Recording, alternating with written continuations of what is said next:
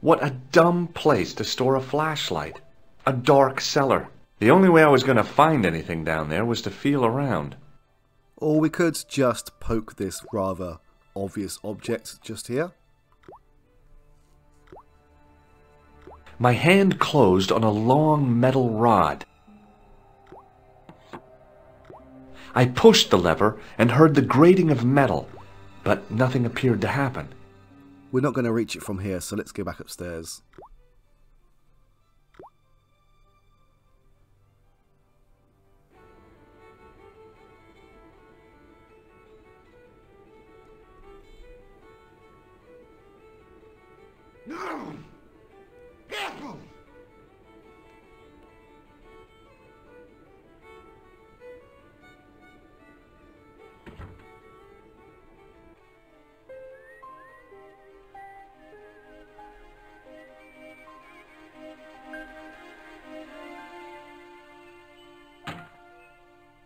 I lifted the trap door, and an overpowering smell of stale beer rose from the cellar below.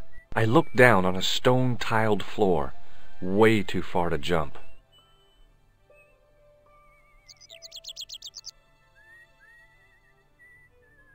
Excuse me. There was a nasty feeling in my guts I usually associated with light opera. It was Khan. What's the problem? Did you see what happened here a few minutes ago? What was that? A man was involved in an unfortunate accident. I didn't see anything. What about the boy? Uh, he doesn't know anything either. The kid, well, you know how it is in these rural communities. Not enough genes to go round. I prayed McGuire had the sense to keep his mouth shut. Was the guy hurt bad? He's been taken care of, but he thinks he dropped a small parcel. You didn't happen to find it, did you? If I had, I would have taken it to the police. Of course. Thank you. Come back here and shake my hand. The trap door gave access to the cellar of the bar. It wasn't my nerves that stopped me jumping. It was my damned legs. They wouldn't move.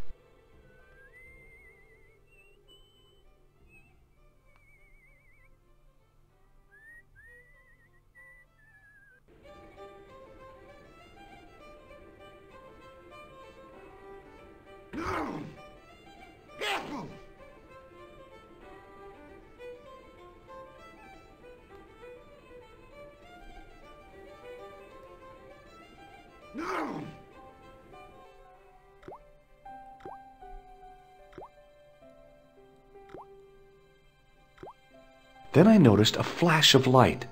Something sparkling beneath the open trap door.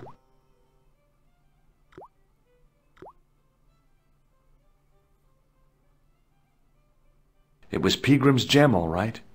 A large, uncut blue stone.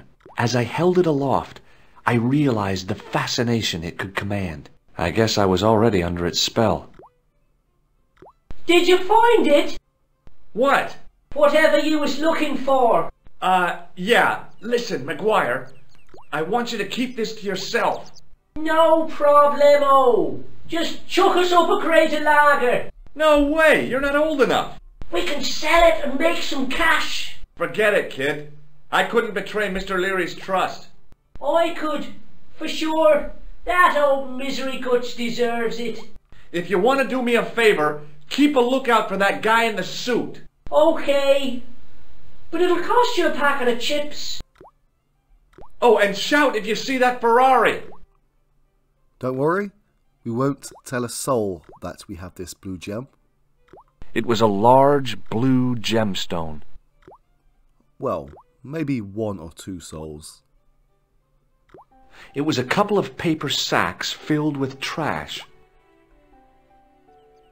I searched the trash, but there was nothing useful there. It was a calendar with a faded photograph of a prize-winning carp. It was a bunch of cleaning materials. I looked among the cleaning materials, but saw nothing I could use. It was a rusty faucet.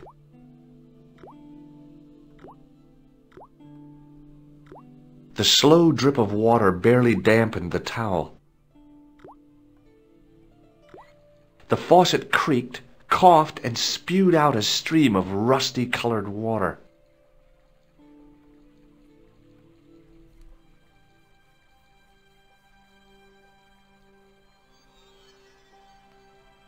I held the towel under the faucet and soaked it with water. I shut off the faucet as tight as I could, but it kept on dripping. I don't have to turn off the faucet, but it's nice to be polite. We don't want to leave water running endlessly. Apparently there is also a bug if you keep the faucet on, so I don't really want to trigger that. I've never encountered it before, but it's not too uncommon, I believe. Careful! Allô J'écoute. Nico? Who is this? It's me, George. Oh, hello, George. Where are you? I'm in Ireland. What's it like there? Kinda sleepy. Comatose, even. Did you get to talk to Pigram? I haven't found him yet. I figured I'd call you first. Are you okay? Oh, sure I am. Don't worry about me, George. Any signs of our friend the clown? Yeah. He turned up dressed as a pixie. What? Did he see you? He came back and talked to me. Oh, you're crazy, George. The killer knows who you are. Relax. It wasn't me he was after. It was Peagram's gem.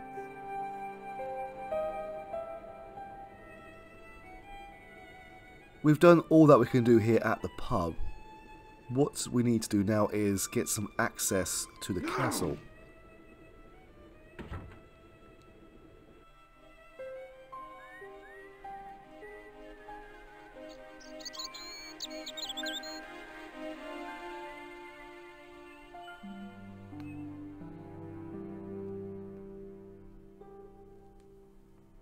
Hi, it's me again. So I see. What now?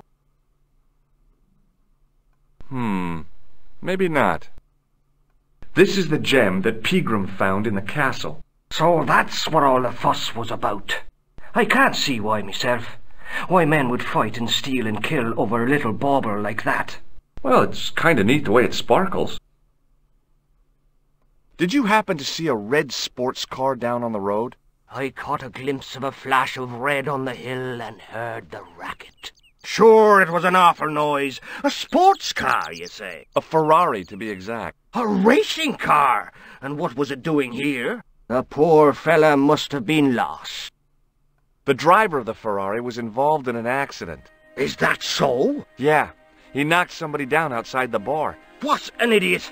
How could a thing like that happen? He was traveling too fast. So fast he ran right under the car? I mean, the car was traveling too fast. But you'd have thought the idiot could have heard it coming. Maybe you know the guy who was hit by the Ferrari. His name is Sean Fitzgerald. Oh, I know him all right. That's me nephew, the idiot responsible for the stacking of my hay cart. Was he killed by the car? Oh no, but he has been abducted. Well, that's a relief now. How did Fitzgerald manage to stack all of this hay? Aren't you going to look for your nephew? What for? From what you say, it's too late. Well, you could report the matter to the police. Better not. Besides, what could they do? Well, they could mount a search. They have only the one bicycle between them. In a question of superior acceleration, I put me money on the Ferrari. I think you ought to know exactly what Sean has gotten himself into. I'm not sure I want to know. But you're his uncle, his own flesh and blood. You're right, but what can I do? If I'm not here to guard it, some idiot might try to climb the haystack. What a moral dilemma.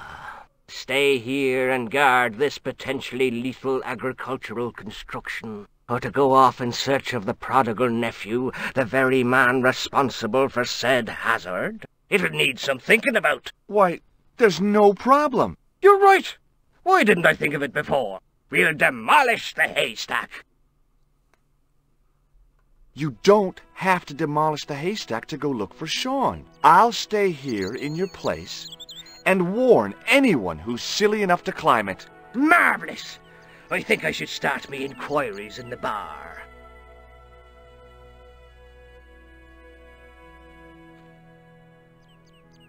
He strode off in the direction of McDevitt's bar, leaving me to contemplate the stack of hay.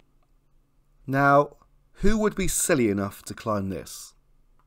On the back of the cart was a crazily stacked tower of hay bales, leaning precariously against the castle wall. What could go wrong?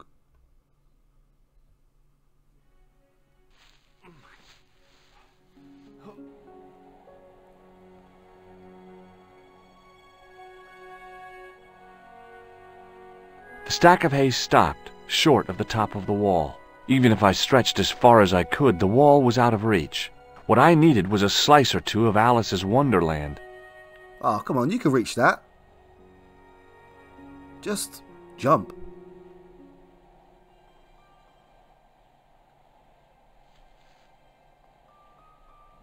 Now, it's not really obvious because George is actually covering it up, but the, oh, no, no, he's not covering it up.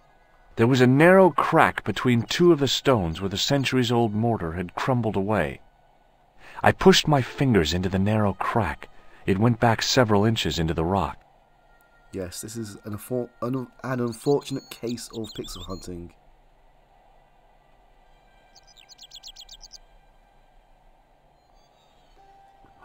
I inserted the end of the lifting key in the mortarless crack and gave it a firm shove. It remained lodged in the wall, jutting out to form a step.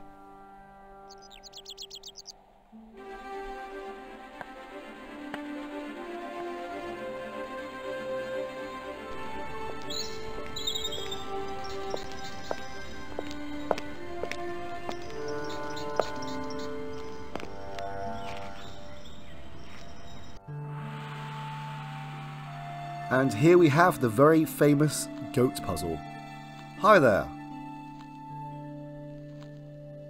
Hey, Billy. The animal fixed on me with an evil glare. Behind the malice and resentment, there was a cool intelligence. How you doing, boy? I felt as threatened as I'd been by the assassin and his goons in Paris. It was the fiercest, meanest-looking old goat I'd ever laid eyes upon. This is very famous for being one of the most difficult puzzles of all time in adventure games. There's only two things that we can do. We can go left.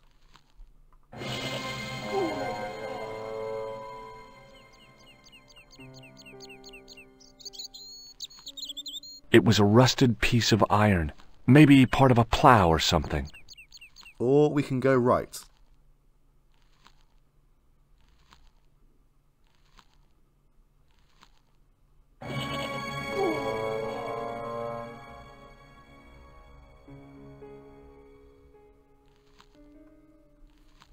Get up, George. He's very quick to knock us down, but you may notice there is a bit of a wind-up time as he reverses. The goat's movements were restricted by a halter tied to a metal post.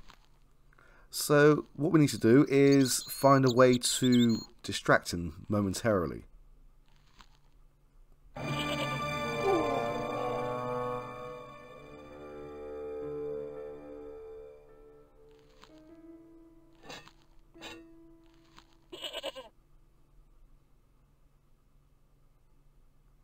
The rope by which the goat was tethered had become tangled on the old plowshare. Now, I've just made this look incredibly easy, and some people may be wondering why was this so notorious. It's just a case of you have two directions to go in, but there has not been a puzzle before now that involves time management. And as well, you, you've been knocked on your ass, so how, how are you supposed to work out? You have to get up very quickly and run across to select this. But yeah, that's all you need to do. And this caused frustration in a lot of people, including me when I first played this. This puzzle was the bane of my existence for some time. Anyway, let's continue on.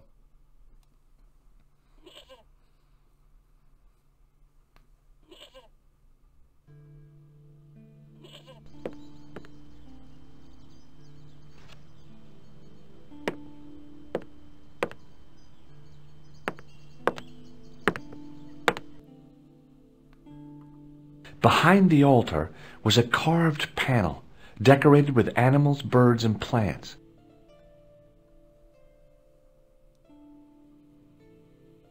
I tried in vain to move the panel. there was a pattern of five holes arranged on the wall. They'd been drilled there deliberately.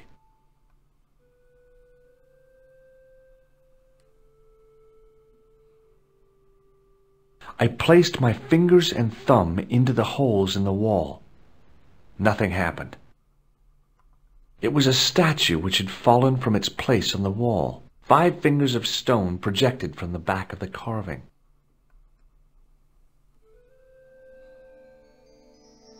The statue was too heavy to lift. It overbalanced into the sand.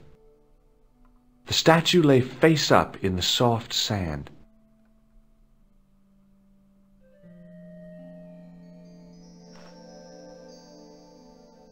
As I swung the stone upright, I noticed it had left a pattern of holes in the sand. And this pattern seems to match the one on the wall.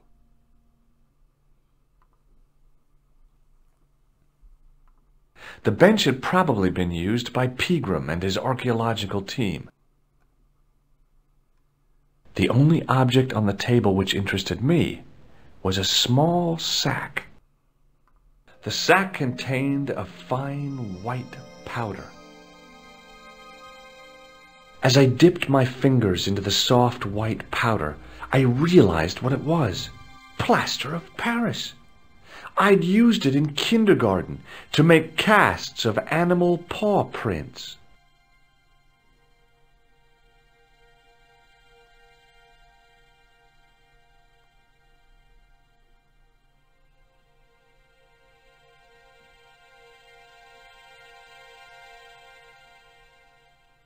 I sprinkled the plaster on the sand until the holes were filled.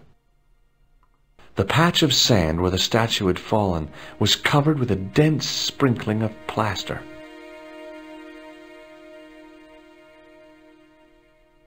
I smoothed the plaster level with the sand. It was my first experience of home improvement. Luckily, we have this water soaked towel.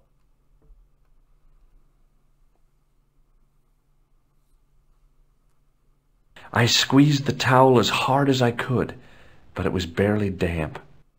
Yeah, this is another timed puzzle where you only have a limited amount of time to get this drenched towel here. So we have to return back to the pub.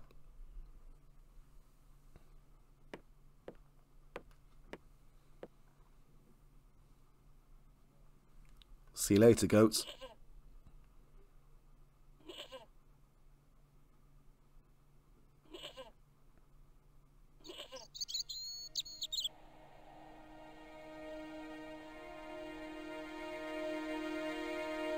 The lifting key was rammed tightly into the crack in the wall, forming a strong foothold.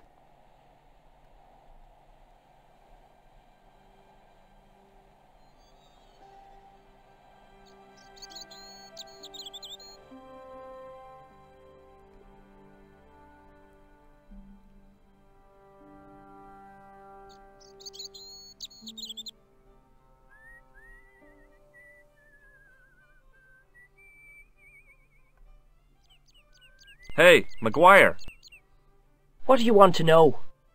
We can at least show him this gem here. Want a closer look at the gem, McGuire?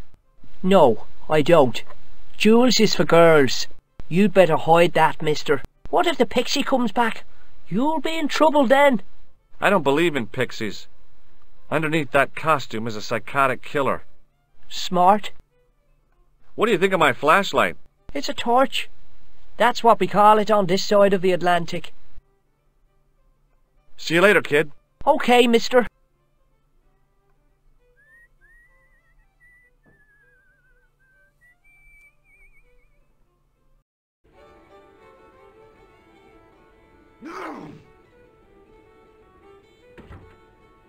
How's the search going?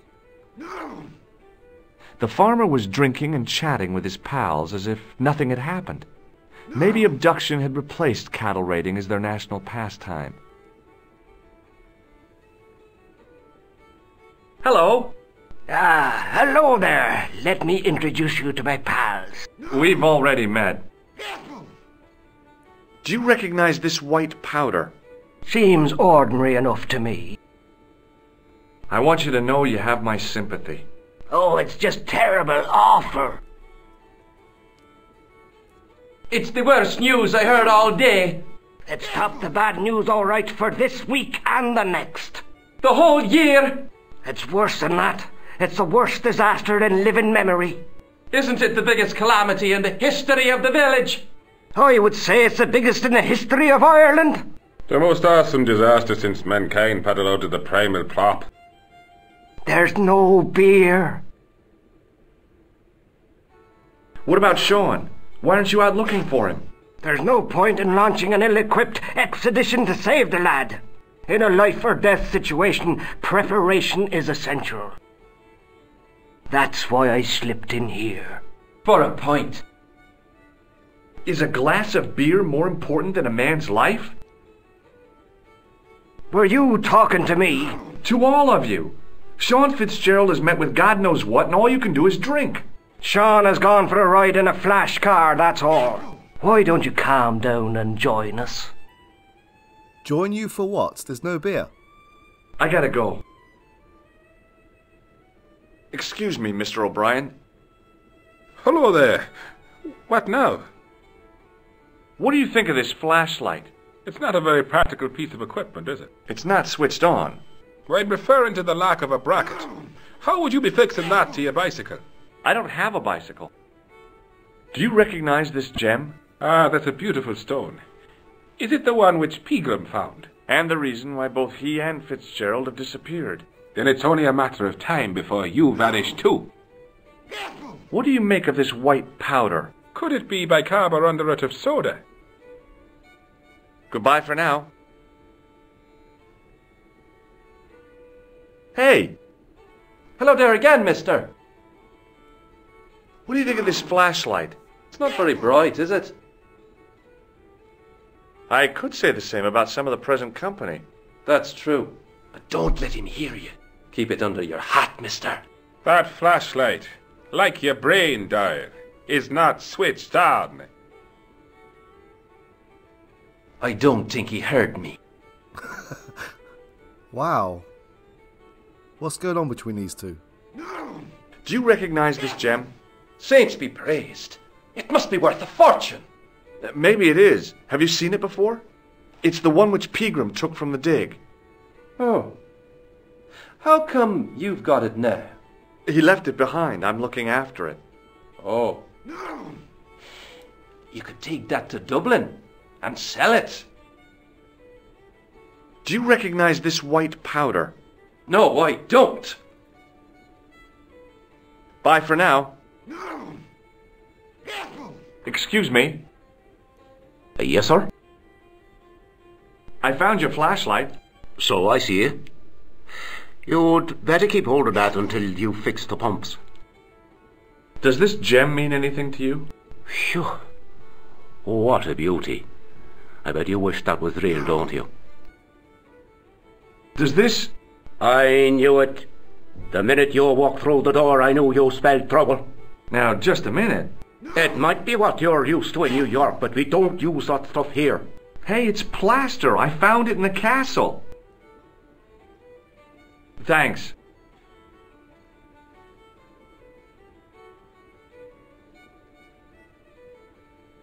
Hello again.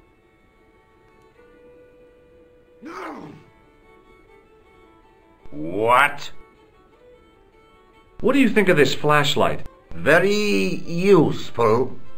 That could be very handy in the dark. How much do you want for it? It's not for sale. It belongs to Leary. What does this gem mean to you? Well, well, would you look at that? Pretty. Do you recognize it? No. What do you make of this white powder? Ah! Hair fever.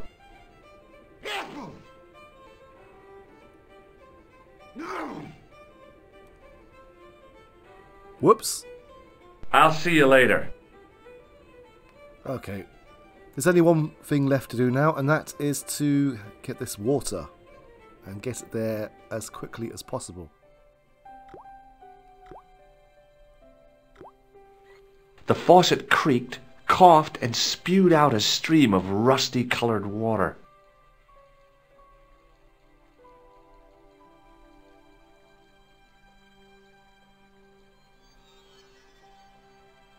I held the towel under the faucet and soaked it with water.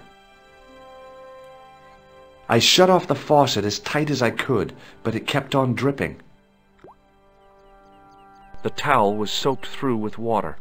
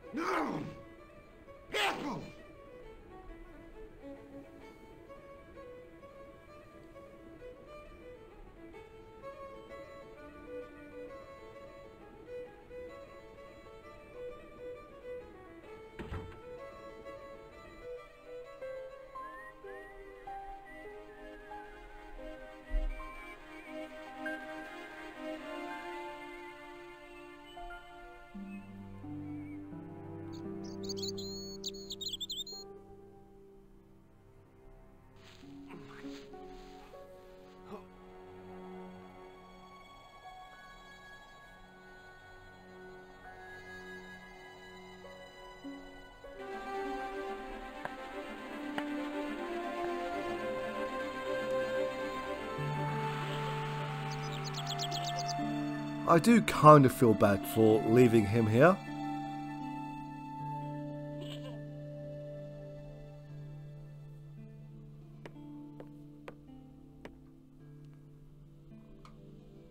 The towel was soaked through with water. Okay, so you do actually have a fair amount of time.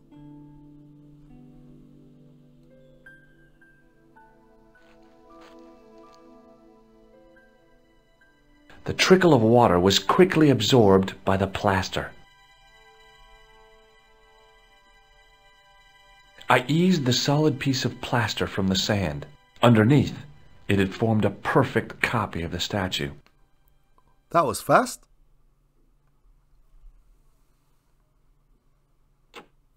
The hardened plaster cast fitted snugly into the five matching sockets. There was a soft thud, then silence.